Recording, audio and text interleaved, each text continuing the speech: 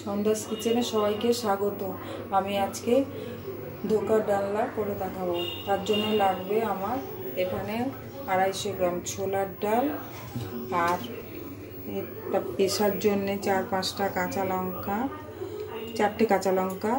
এখানে মশলার জন্য নিয়েছি হলুদ এক চামচ, লঙ্কার গুঁড়ো হাফ চামচ, ধনের গুঁড়ো, জিরের গুঁড়ো এক চামচ করে, গরম মশলা হাফ চামচ কাশ্মীরি লঙ্কা হাফ চামচ আর হলুদ গুঁড়ো হাফ চামচ। আর নিয়েছি স্বাদ মতো চিনি, নুন, টমেটো কুচি, আদা বাটা, আলুটা একটু ভাপ দিয়ে নিয়েছি। আর ফোড়নের জন্য লাগবে হিং গোটা জিরে, দারচিনি, লং, এলাচ আর শুকনো লঙ্কা, একটা তেজপাতা। আর ভাজার জন্যে, রান্নার জন্যে তেল, আর ভাজার জন্যে সাদা রিফাইন তেল বা সাদা তেল। আর রান্নার জন্যে সর্ষের তেল। এবার আমি ডালগুলো পিসবো। মিক্সিতে দিয়ে পিষে নেব। ছোলার ডালগুলো আমি সারা রাত ধরে ভিজিয়ে রেখেছিলাম। কথাটা বলতে আমি ভুলে গেছিলাম। আমি এই ছোলার ডালটা এবার একটু শক্ত করে পিষে নেব মিক্সিতে। এবং তার মধ্যে কাঁচা লঙ্কা আমি কাঁচা লঙ্কা দিয়ে দেব। কাঁচা লঙ্কা আর একটু নুন দিয়ে পিষে নেব।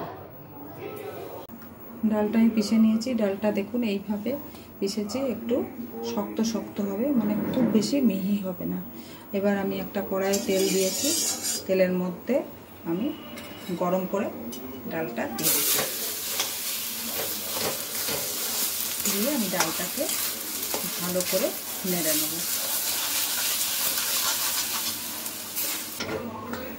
দেখুন পেস্টটা আমার হয়ে গেছে। আমি একটু ভাজা মশলা ওর মধ্যে দিয়ে আমি ভালো করে মিশিয়ে নেব। আমার পেস্টটা হয়ে গেছে। আমি এবার একটা থালার মধ্যে তেল দিয়ে রেখেছি। এই থালার মধ্যে পেস্টটা ঢেলে দেবো।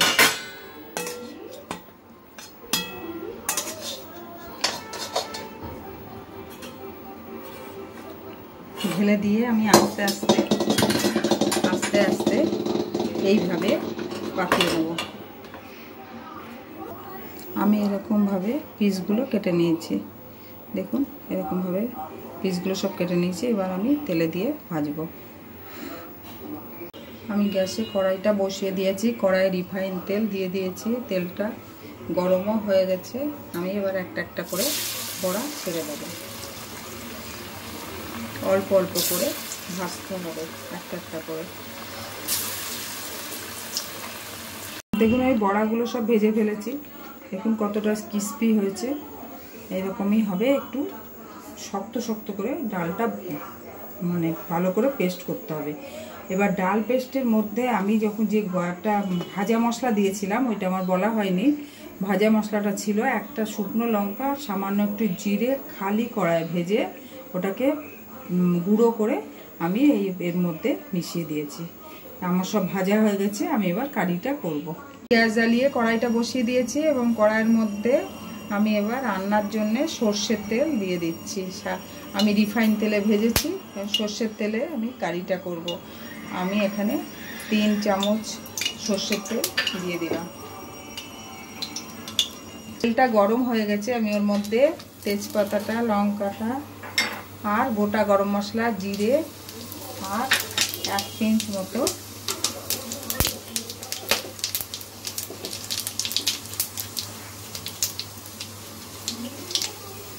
আমি এক, অল্প একটু, এক পিঞ্চ মতো একটু হিং দিয়ে দিলাম ওর মধ্যে। দিয়ে মশলাটা দিয়ে যাতে সুন্দর যতক্ষণ একটা গন্ধ বেরোবে, ততক্ষণ পাঁচ সেকেন্ড মতো একটু আমি নেড়ে নিলাম। নিয়ে এর মধ্যে আমি টমেটোটা দিয়ে দিচ্ছি। দিচ্ছি, আর দিয়ে দিচ্ছি আমি একটু নুন, যাতে টমেটোটা আর আদা বাটা দিচ্ছি। নুন দিচ্ছি, টমেটো আর আদা বাটাটা চারিদিকে না ছিটকায়।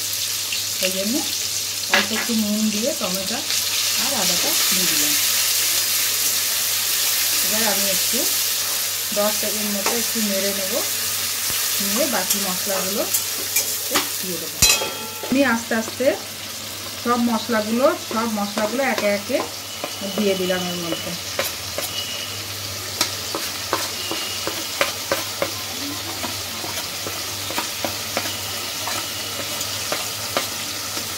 খালি গরম মশলাটা আমি একটু পরে দেব।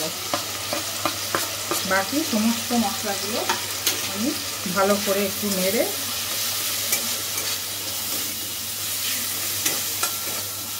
এর মধ্যে আমি মশলাটা যাতে একটু ভাজা ভাজা হয় তার জন্য একটু গরম জল, একটু অল্প একটু দিয়ে দিলাম। মশলাটা ভাজা হয়ে গেছে আমার। এরকম অবস্থায় এসছে। আমি এবার জল ঢেলে দেবো মশলাটা। জল ঢেলে দিলাম, এবার মশলাটা ভালো করে ফুটবে তারপরে আমি ভাপানো আলু আর বড়াটা দিয়ে দেবো। ফুটে গেছে, আমি এর মধ্যে ভাপিয়ে রাখা আলুগুলো দিয়ে দিলাম। এবার আলুগুলো দেওয়ার পরে আমি একটু ফুটে যাওয়ার পরে আমি বড়াগুলো দিয়ে দেবো। আমি ইয়ে মিষ্টিটা এবার চিনিটা দিয়ে দিলাম। পরিমাণ মতো যত যেমন স্বাদ অনুসারে চিনিটা দিয়ে দিলাম। আর দিয়ে দিচ্ছি যে গরম মশলাটা ছিল, সেই গরম মশলাটা। এবার সব কিছু দেওয়ার পরে এবার আমি বড়াগুলোতে আস্তে আস্তে দিয়ে দেবো।